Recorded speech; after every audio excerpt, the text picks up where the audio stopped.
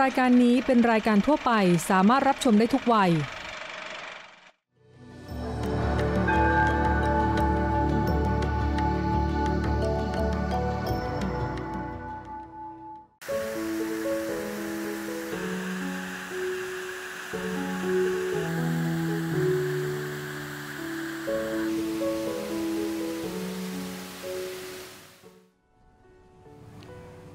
ครับท่านผู้ชมครับพบกับผมอาจารย์ชัดชัยพาทุกธรรมในรายการถกธรรมกับหลวงพ่อพระยอมกัลยาโนครับท่านผู้ชมครับวันนี้เนี่ยนะฮะมีเนนเรียกว่าชื่อน้องออคัสนะฮะแม่อายุเพียงแค่ 10 ขวบเองนะฮะท่านผู้ชมครับ แต่ว่าสอบเนี่ยอ่าฮะปรริญญาสามประโยคเลยนะฮะท่านผู้ชมครับโอ้โหเรียกได้ว่า อัจฉริยะจริงๆนะฮะวันนี้เนี่ยฮะมามัดรวมกันเลยนะฮะสำหรับในเรื่องเล่าในรายการของถกธรรมกับหลวงพ่อพระพยอมกัลยาโนครับกราบนมัสการครับเจริญพรหลวงพ่อครับ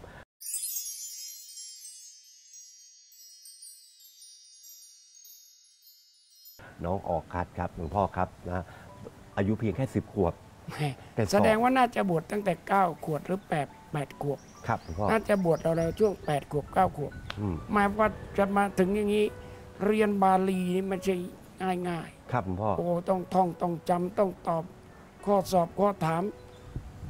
เขาเรียกว่าผ่านด่านอรหันต์กันเลยล่ะครับ เนนองค์นี้ต้องถือว่าเป็นองค์แรกของประเทศไทยนี่ไงครับหลวงเพพ่อๆอาจจะเป็นองค์แรกของโลก ครับ เป็นเด็กอัจฉริยะ เป็นเนนอัจฉริยะที่สามารถสอบผ่านตั้งแต่อายุแค่สิบขวบสิบขวบ เล็กเลยเล็กนิดเดียว ถ้าเทียบเท่ากับเรื่องของการศึกษาเนี่ยถือว่าเป็นมัธยมหรือจะเป็นมหาลัยปของฐมไม่ใช่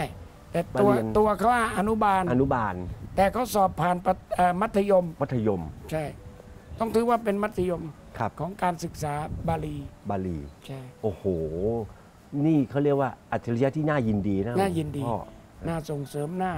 ช่วยเหลืออืมให้กำลังใจถ้า อยู่ต่อไป ต้องเป็นนาคหลวงอืมรัรัชกาลที่สิบท่านจะต้องเอามาอุปสมบทครับบวชนาคให้อ๋อเขาเรียกเป็นนาคหลวง ครับหลวงพ่อเพราะต้องได้เก้าประโยคแน่โอ้ยขนลุกๆสิบขวบได้สามแล้วครับ แล้วอีกประโยคสี่ประโยคห้าประโยคหกประโยคเจ็ดประโยคแปดประโยคเก้าอีกหกประโยคเอง อืมอีกครับตีตั้งแต่ปีละ อีกหกปีหกปีก็อายุเท่าไหร่อะสิบหกนาคหลวงเนี่ยส่วนใหญ่เขาจะบวชอายุยี่สิบครับหลวงพ่อยี่สิบเพราะนั้นได้บวชอายุยี่สิบได้เป็นนาคหลวงเลยโอ้ยพระราชพระเจ้าแผ่นดินอุปถัมภ์ครับหลวงพ่อฮะให้พัดพิเศษเลย ครับหลวงพ่อนี่เขาเรียกว่าเรียกว่าไอ้ไอ้กระโจนออกมาเลยนะหลวงพ่อกระโจนโอ้โหกระโจนกทั้ระงโจนสามออกเลมายเนี่ยเออครับในขณะที่สังคมวัยรุ่นกำลัง ลบราค่าฟันตีรันฟันแทง แต่นี่ลบกับความฉลาด ความโง่ ที่จะมาครอบสมองตัวเองนี่ สลัดปัดป้อง ประคองตำรับตำลา มือถือตำลาไม่ถืออาวุธ ไว้ห้ามหันฟันใครครับ แต่ฟาดฟันกับการศึกษาอย่างชนิดที่เรียกว่า ต้องตัวเป็นเกลียวหัวเป็นน็อตเลยเนี่ยครับหลวงพ่อถ้าไม่ครับงั้นไม่ได้หรอกอืมอืมมันไม่ใช่ของง่ายๆแต่ลืมว่าได้นักทำโทเอกด้วยหรือเปล่า น่าจะได้มาแล้วน่าผมว่าน่าจะได้น่าจะได้ครับหลวงพ่อฮะเพราะว่าน้องเขาอยู่ที่ร้อยเอ็ดอย่าว่าแต่บาลีปรริญญาสามเลยนะถ้าน้องคนนี้ได้นักทำเอกก็ถือว่าน่าดูแล้วโอ้ยสมัยตัวสิบกว่าได้นักทำเอกหลวงพ่อเคยได้เห็นอย่างนี้มาฮะหลวงพ่อไม่มีไม่เคยได้ยินเลยอายุสิบขวบแต่ว่าไม่เคยได้ยินเลยอืมมีแต่ว่านาคหลวงเนี่ย พอจะเรียนปรริญญาเก้าประโยคก็อายุยี่สิบยี่สองยี่สามยี่สี่อืม แล้วก็บวชพระก็ครับเป็นอืมอ่าเป็นนาคหลวง ครับหลวงพ่อฮะอย่างนี้เนี่ยก็คือนี่คือในเอ่อดงสงฆ์แต่ว่าขณะเดียวกันครับหลวงพ่อครับวันอนี้ย่างนี้เขานี่เรียกอะไรนะปุอารวัสนา บุญภาวาสนาเก่า สั่งสมการเป็นผู้ใฝ่รู้ใฝ่เรียนมาเยอะ โอ้ชาตินี้มาถึงได้ใฝ่รู้ใฝ่เรียนแบบชนิดที่ ต้องเอาจริงเอาจังอะ ไม่งั้นไม่ได้ของพันนี้ มันโอ้โหจะท่องกันแบบหนังสือไม่รู้กี่เล่มอาตมาเรียนอยู่พักหนึ่งบาลีเนี่ยอืม ไม่ไหว เพราะเรามันไม่ได้หยุดอยู่กับที่ไงอืม ไม่ได้เรียนอย่างเดียว ต้องไปเทศไปนู่นไปนี่ไปนั่นทำงานหลายด้าน ครับหลวงพ่อ เลยไปไม่รอดบาลี แต่ว่าก็ดีนะ ได้เรียนเรียนกันแบบเขาเรียนกันเองแบบไม่ต้องสอบอะอ๋อเหรอพอให้รู้ไว้บ้างเล็ก ๆ น้อยๆงูงูปลาปลาครับหลวงพ่อ คือภาคือภาษาบาลีใช่อ๋อครับหลวงพ่อเรียนได้นิดเดียวอืมเรียนได้สักสามเดือนเนี่ยมั้งอืมพอตอนนั้นเริ่มเทศดังครับพอดังนิมนต์ไม่หยุด ไม่หยุดก็ไม่มีเวลาที่จะมาดูบาลีแล้วครับหลวงพ่อก็เลย เอาแค่นักทำเอก วันหนึ่งกี่ที่นะหลวงพ่อสมัยก่อน ไปกี่ที่แล้วหลวงก็พ่อวันหนึ่งสี่งานสามงาน โอ้โหตั้งแต่เช้ายันสามทุ่มสี่ทุ่มอืม ครับหลวงพ่อมีวันหนึ่งสี่งานโอ้ยสี่งาน แล้วมันไม่ใช่ติดติดๆกันนี่ ครับ กระโดดอืมไปตั้งไกลไกล จากเหนือไปใต้ข้ามจังหวัดใต้ข้ามเป็นโอ้เหรอครับหลวงพ่อโอ้โหครับหลวงพ่ออะนี่ก็อีกหนึ่งข่าวแล้วครับหลวงพ่อครับ แต่ข่าวที่ค่อนข้างที่จะเรียกว่าเป็นรอบโลกเลยนะหลวงพ่อและมันเกิดที่บ้านเราด้วย อืม นั่นก็คือว่าหลวงพ่อเคยเห็นนี่ไหมาฮะก็คือว่าต่างประเทศเนี่ยเขามีการเขาเรียกว่าเหยียดผิวอะไรเงี้ย วันนี้เกิดที่บ้านเรานะหลวงพ่ออืมเออ ก็คือว่ามีโรงเรียนหนึ่งเออชาวนิโกรเขาไปสอน อ่า แล้วเด็กนักเรียนไทยนี่แหละฮะ ไปเหยียดผิว เพอเอิญเนี่ย ใครก็ไม่รู้แต่ไปถ่ายรูป แล้วก็ไปกระจายกันทั่วโลกเลยครับ หลวงพ่อครับ แล้วเขาก็ฝรั่งคนหนึ่งมือดีมือบอลเขาเรียกว่าเป็นนักเลงคีย์บอร์ดเขียนเลยฮะหลวงพ่อฮะว่าเนี่ยนี่คือ สิ่งที่เกิดขึ้นในเมืองไทย การเหยียดผิวครับหลวงพ่อครับ โอ้โห ที่จริงมันมีทั้งอเมริกามาก่อนอ่าบ้านเรานี่ไม่ไม่เคยมีน่ากลัวจริง ๆ ครับหลวงพ่อครับแต่แล้วผู้หญิงไทยก็ได้นิโกรเป็นสามีเยอะนะเยอะนี่อย่างนี้ก็หลวงพ่อครับนะฮะจริงๆในการเหยียดผิวเนี่ยฮะเอ่อผมไม่รู้ว่าเขาคิดในเรื่องของการแบ่งเผ่าพันธุ์แบ่งอะไรยังมัไงก็มาเรื่องจากเผ่าพันธุ์ ครับมือมีเผ่าพันธุ์เป็นหลัก แล้วสีผิวก็มีหลักมีส่วน ครับหลวงพ่อสีฮะผิวมันดำปึ๊ก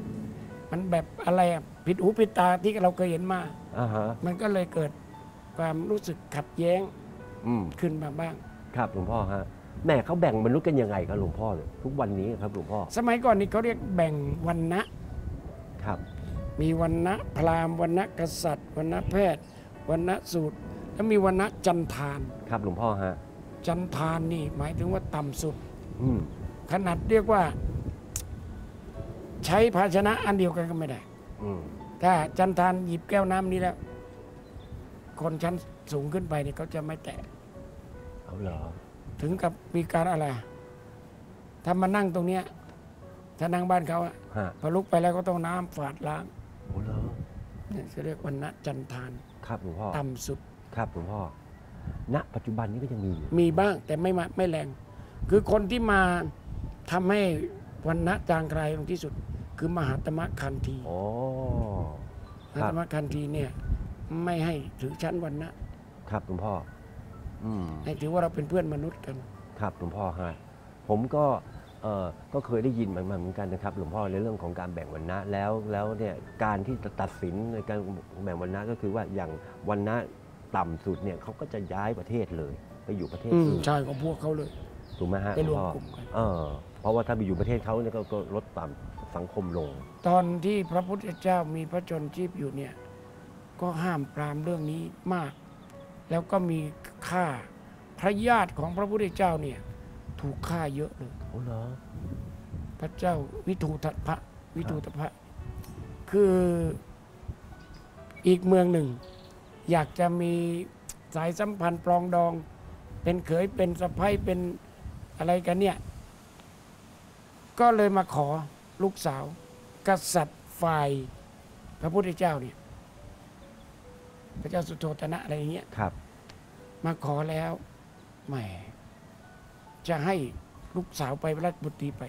ไอ้นู้นมันต่ำเอากษัตริย์ชั้นต่อืมำก็ไม่ให้แต่นี้ไม่ให้ก็กลัวจะ หมางใจลบราค่าฟัน ก็เลยไปเอาลูกคนใช้ ลูกคนใช้ในวัง ครับหลวงพ่อ ส่งไป แต่บอกอ้างว่าเป็นราชบุตรีอืมอืมต่อมา หญิงคนที่ส่งไปเป็นมเหสีทางนู้นน่ะ ครับหลวงพ่อ ตั้งครรภ์มีลูก ลูกโตขึ้น อยากจะมาเยี่ยมบ้านญาติพ่อเอ้ยญาติแม่ญาติข้างแม่เนี่ย ครับ เป็นยังไงอยู่กันยังไงเมืองเป็นยังไง ทางนี้รู้ว่าลูกคนชั้นต่ำมาเนี่ยที่ส่งไป ก็เตรียมเลย ให้คนแก่หลบไปหมด เหลือแต่เด็กๆรุ่นเดียวครับ หรือต่ำกว่าอืมมา ผลที่สุดเอ้ยเดี๋ยวเดี๋ยวจะเล่าผิดตรงนิดนิดหนึ่งครับครับหลวงพ่อให้อยู่แต่คนแก่ อ่าให้เด็กๆให้ออกหมด เพื่อมาถึงก็จะได้กราบไหว้ คนแก่ครับ เด็กๆออกไปอืมไม่ต้องรู้จักไม่ต้องมาคุ้นไม่ต้องไปกราบไปไหว้ ถ้าไปยกมือไหว้กันเสียชั้นวันนะโอ้ซะซะอย่างนั้นผลที่สุด วันนั้นก็กลับไปก็แปลกใจว่าทำไมไม่มีเด็กเลยเมืองนี้ มีแต่คนแก่ให้เราไหว้ทั้งนั้นฮะพอไปอ้าวเกิดลืมของเป็นพระขันหรืออะไรเนี่ยครับ ลืมไว้ ก็ให้ มหาดเล็กกลับมาเอาพอกลับมาเอาไอ้พวกคนใช้ที่อยู่ในวังเนี่ยกำลังถูขัดล้างกันใหญ่ แล้วก็บ่นไปไม่น่ามาเลยมาให้เราเหน็ดเหนื่อย ครับไอ้พวกมหาดเล็กก็ถามว่าเหน็ดเหนื่อยยังไง เพราะอะไรทำไมต้องล้างกันใหญ่ ไม่ล้างได้ยังไงอะตัวซวยมาเนี่ยเอ้าโอ้ยอย่างนั้นเลย นายของเขา ถูกเรียกเป็นตัวซวยอ่าไอ้ลูกน้องก็ไปเล่าไปฟ้องสิ ฟ้องก็ยกทัพกลับมา ไล่ฆ่าไล่ฟัน ครับ พุทธเจ้ามาห้ามก็ไม่อยู่อือหือตายไปเยอะเลยโอ้โหแค้นใจว่าเหยียดหยามวันณะกัน ครับหลวงพ่อ เนี่ยมันมีมาตั้งแต่ครั้งนู้นอ๋ออ่าฮะญาติพระพุทธเจ้าเนี่ยพระญาติเนี่ยครับหลวงพ่อตายไปเยอะเลย ครับหลวงพ่อฮะ แต่บ้านเราไม่ใช่สังคมในการแบ่งวันมันนะไม่น่าจะแบ่งแล้วนะฮะแม้แต่การมากขนาดเหยียดเพราะว่าผิเรารัชการ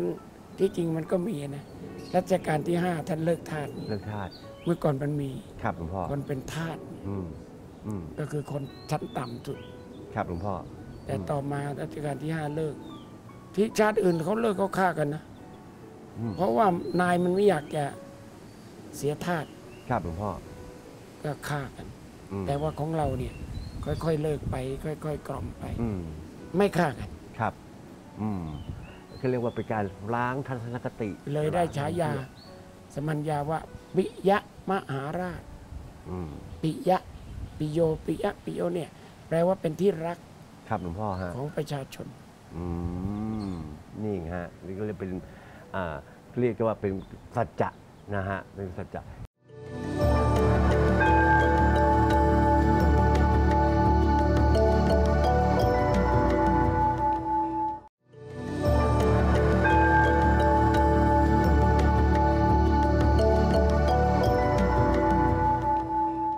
อีกอีกหนึ่งครับในเรื่องของวาจาคำพูดวันนี้เนี่ยแหม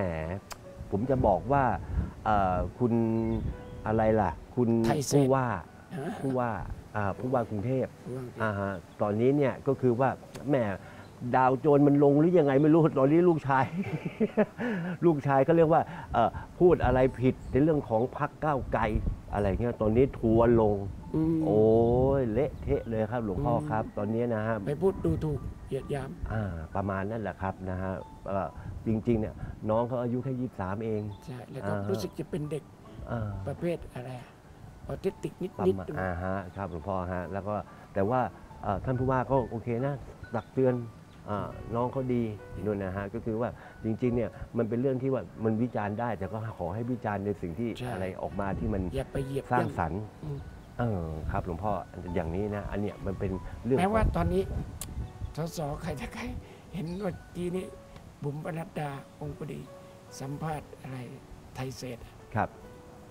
อุทัยอืมชาดาถ้าเอาเอาชาดาชาดาโอ้นี่ก็ก็เป็นประเด็นเหมือนกันไอ้สิว่าเสนอเปรี้ยงออกกฎหมายยิงคนนี่ไอ้ที่มัน ไม่เคารพเจ้านี่เออโอ้วันนี้ แต่ก็ก็ คงจะสำนึกอะไรบ้างอะเพราะว่าทัวร์ลงเยอะ ทัวร์ลงเยอะ อย่างนี้นะฮะบางทีแม่พูดถึงทัวร์ลงนี่นะ มันเหลือเชื่อจริงอืมๆเสียดายสงสารคนอยู่คนหนึ่งคุณนวรัตน์พงษ์ไพบูลย์โอ้ก็เอาหนังสือกันมาเผาโหอืมฮึเอามาเผา ครับหลวงพ่อฮะ ก็ ท่านเองก็ไปยุ่งกับกับการเมืองนี่นี่นั่นไงอ่าฮะแทนที่ว่าจะเป็นศิลปินแห่งชาติก็เคยเอาทุกสาขาไงครับหลวงพ่อฮะอย่างเงี้ยเออโอ้ยแล้วพวกพวกสาขาบรรณศิลป์วรรณกรรมอะไรพวกเนี้ยเขาก็ถล่มกันนะดูดิถล่มหลวงพ่อถล่มอาจารย์นวรัตน์ครับพอสมควรนะฮะเพราะว่าเนี่ยเอาง่ายๆแล้วครับหลวงพ่อมีม็อบที่ไหนก็ต้องมี เอออ่านกรอนอะไรอย่างเงี้ยครับหลวงพ่อครับก็ก็ก็ก็นะวางอยู่กับที่ก็ก็ก็น่าจะดีกว่า อย่างเงี้ยก็เหมือนกับคุณลูกของคุณอ่าชาติชายอ่าอ่าอ่าผู้ว่าอ่าครับอ่าฮะเอ่อหลวงพ่อครับวันนี้เนี่ยเอาเราวางตรงนี้ไปก่อนครับหลวงพ่อครับ เอากลับมาที่ในวัดก่อนดีกว่าครับหลวงพ่อครับเพราะว่าวันนี้เนี่ยหลวงพ่อเนี่ยปลูกอะไรได้เยอะแล้วก็อีกอย่างหนึ่งที่สำคัญก็คือว่า หลวงพ่อกำลังสร้างเศรษฐกิจกับรอบข้างใช่ ใช่เชื่อเอาชุมชนเนี่ย ใครมีผลไม้ขายไม่ได้ ไปนั่งขายแล้วมันไม่คุ้มอืมวันหนึ่งขายได้นิดเดียว ว่าหักค่าแรง หักค่าอะไร มันเสียเปล่าครับ ก็เลยเอามาส่งวัดดีกว่าอืมเพราะวัดมันมีมวลชนเข้ามาเที่ยวมา ตอนนี้วัดนี้ถือว่า เป็นแหล่งท่องเที่ยว เมืองสองเมืองรองโอ้ยของเมืองนนท์ได้อย่างชนิดที่ เต็มปากเต็มคำแล้วถนนมีให้ถีบจักรยานอุ้ยตอนนี้นะ นักเรียน ครับ เลิกเรียนแล้วยังไม่อยากกลับบ้าน อย่างนั้นมาถีบจักรยานรอบวัดเนี่ยเอ้ยแล้วตอนนี้ดีถจังนเลยนเราทำดีขึ้น อ่าฮะคปลรัอบดภัยมากขึ้น แล้วก็ตอนเนี้ยท่องเที่ยวเนี่ย มันเป็นอาอาชีพหลักรายได้หลัก อืมเราก็ให้มันเป็นทำได้ ต้นไม้เริ่มโตดอกไม้เริ่มสวย อืม พอสวยแล้วร่มเย็นเนี่ย อืม มันเข้าเลย ลักษณะท่องเที่ยว เชิง ธรรมชาติ แล้วออกกำลัง ตอนนี้เราได้สองตัวเนี่ย ออกกำลังธรรมชาติ และแถมพิเศษก็คือ ภาพสอนธรรมอืมอุปกรณ์สอนธรรมภาพสอนธรรม ที่ไหนไม่มีอะวัดในเมืองนนท์นี่ ไม่มีวัดไหนที่จะมีเท่าที่นี่ ครับหลวงพ่อแล้วที่เขาก็แคบๆกันน่ะ อืมจริง ไอ้เข้าไปแล้วมันแออัดแน่นอืมตรงนี้แล้วไปนั่งตรงนู้นก็โล่งนั่งตรงนู้นก็เย็นอืมแหมเลยต้องบอกกันจริงๆนะ มีหลายคนที่มาวัดแล้ว ไม่เชื่อว่า มันจะมีวัดอย่างนี้อยู่ตรงเมืองนนท์อย่างนี้ ครับหลวงพ่อ เพราะแรงบันดาลใจ หรือใจบันดาลแรงอะไรหลวงพ่อพุทธทาสคุณพยอม คุณกลับไปสร้างสวนแก้วไว้ชานเมืองสักแห่งไม่ได้หรือ ครับหลวงพ่อเราก็มุ่งมันทำหำนุ่งหำคำเหน็ดเหนื่อยไง สู้ทำสู้ทำทำสู้มา จนกระทั่ง บัดนี้อืมต้องเรียกว่า ถวายเป็นกุศลให้ท่านได้ อย่างเต็มภูมิเต็มใจแล้วตอนเนี้ยกกำลังมุ่งหน้า ที่จะทำซอยต่างๆ ให้สมบูรณ์ให้เสร็จสมบูรณ์มากขึ้น ต้นไม้สวยมากขึ้น ประดับประดาอะไรดูให้มันแลดีร่มเย็นปลูกปลูกปลูกวันหนึ่งตอนนี้ต้องมีการปลูกต้นไม้ วันหนึ่งอย่าให้ต่ำกว่า 30 ต้นโอ้ยโกโก้อะวากาโด อะไรก็แล้วแต่ครับป ลูกกันใหญ่อืมเนี่ยตอนนี้ต้องไม่ช้าเนี่ย ของเราอืมคงมีลูกภายในไม่เกิน 3 ปี ไม่เกิน 3 ปี 3 ปี ครับหลวงพ่อฮะนี่ก็คือในส่วนนี้อันนี้อันนี้อันนี้คือรับเข้ามาอีกรับเข้ามาครับหลวงพ่อขอเจ้าของสวนที่เขาให้หน่อเรามาปลูกครับ แล้วเขาก็ตามมาก็บอกเอาละลดได้หลวงพ่อ เท่ากันราคาหน้าสวนโอ้ยเขาจะขับรถมาให้เนี่ยครับเขาไม่คิดอะไรน่ารักจริงๆ ครับเออน่ารักด้วย แล้วไม่ต้องขายเองด้วย เราเอาหมดเลยเมื่อวานนี้เขาตัดมาเท่าไหร่เรารับรับหมดเลยครับหลวงพ่อแล้วเดี๋ยวแถวๆนี้จะมาอีก อืมคงจะมีมาไม่ขาด แล้วฝากญาติโยมนิดนึง ถึงแม้ว่าไม่ใช่ของเมืองนนท์แต่มันอร่อยที่เมืองนนท์ไม่มี เช่น สละสุมาลีอย่างเงี้ยที่ไหนก็ไม่มี มันมีที่จันทร์หรือภาคใต้ แต่ ที่วัดสวนแก้วจะมีอยู่ตลอด เพราะเรามีสาขาติดกับสวนสละกับเขา ครับหลวงพ่อเขาก็ตัดส่งมาให้เรา อื้อหือไม่ต้องเสียค่าโลจิสติกค่าขนส่ง ครับหลวงพ่อเพราะเราต้องเอาของสวนของเรามาส่งแล้ว ครับก็ติดพ่วงเข้ามาด้วย ครับหลวงพ่อเนี่ยไอการพ่วงนู่นพ่วงนี่พ่วงนั่นมันเลยกลายมีผลไม้ เต็มวัดอยู่ตลอดทุกทั้งปี เพราะเราไม่มีแต่ข้างสวนก็มีที่นู่นก็มีที่นั่นก็มี เขาก็เอามาให้ แม้กระทั่งทุเรียนเนี่ยก็ยังมีอยู่ไม่หยุด โดยเฉพาะทุเรียนภูเขาไฟสีสะเกดมีไม่หยุด ยังคงจะมีไปได้อีกครึ่งเดือนก้อนเดือนแหละ เพราะฉะนั้นมาวัดสวนแก้ว ต้องได้หิ้วของนู่นของนี่ไปกินไปทาน เราจึงเรียกว่า มาวัดทำบุญแล้วบุญก็ได้ไส้ก็เต็ม แน่นอนอืมนี่แหละครับหลวงพ่ออ้าวอีกนิดนึงอ่าครับหลวงพ่อยังไงก็ขอฝาก หนังสือผลงานชิ้นสุดท้าย เล่าไว้ในวัย 73 ปี ตั้งแต่วัยเด็กวัยหนุ่ม วัยก้าวเข้ามาบวชบวชแล้วไปอยู่สวนโมกไปอยู่ที่ไหน ศึกษาอะไรยังไง ถึงได้มาทำงานได้อย่างนี้ ก็ติดตามดูในเล่มเนี้ยได้ต้นแบบเป็นทิฏฐานุกติ หรือที่เรียกกันว่าเป็นไอดอลในบางเรื่องได้ไม่ใช่น้อยทีเดียวอืมสั่งได้ที่วัดสวนวัดแก้วสวนแก้ว ถ้าต่างจังหวัดก็มีค่าส่งสักนิดนึง 50 บาท 30 บาทอืมครับค่าส่ง ครับหลวงพ่อฮะนะฮะท่านผู้ชมครับนะฮะเดี๋ยวเราจะมีเอ่อเขาเรียกว่าเบอร์โทรศัพท์ที่นี่นะฮะให้ท่านได้สามารถที่จะติดต่อกับในเรื่องของหนังสือ แม้แต่ผลไม้เนี่ยหลวงพ่อส่งไหมส่งเอาเวลาแต่เขา ไอ้พวกนี้มันส่งได้นี่ครับหลวงพ่อ มันฝาจะไปถึงนู่น มีเวลามีคนโทรมามาหลวงส่ง พ่อส่งอยากได้กล้วย ตอนนี้ก็ส่งกันนี่ ส่งกันอยู่ตลอดเลยส่งใช่ไหมหลวงพ่อใช่ใช่อ่าฮะครับหลวงพ่อยิ่งกรุงเทพนี่สบายรถแก๊ปที่จะมีเห็นรถแก๊ปวิ่งมาวันหนึ่งสิบกว่าเที่ยวเข้าเหรอ เอาของมาส่งมาเอาของไปครับของมาส่งเอาของไปอ่าฮะครับหลวงพ่ออย่าลืมนะท่านผู้ชมฮะเดลิเวอรี่ด้วยนะฮะท่านผู้ชมครับอยากกินกล้วยนะฮะก็สั่งเลยนะฮะท่านผู้ชมครับนะฮะสั่งกับทางทางเจ้าหน้าที่เลยเนี่ยนี่คือรายการฮะอิ่มท้องสบายใจสบายธรรมครับสำหรับในรายการถกธรรมกับหลวงพ่อพระพยอมกัลยาโนครับกราบนมัสการลาแล้วครับหลวงพ่อเจครับริญพรไปแล้วครับ สวัสดีครับท่านผู้ชมครับ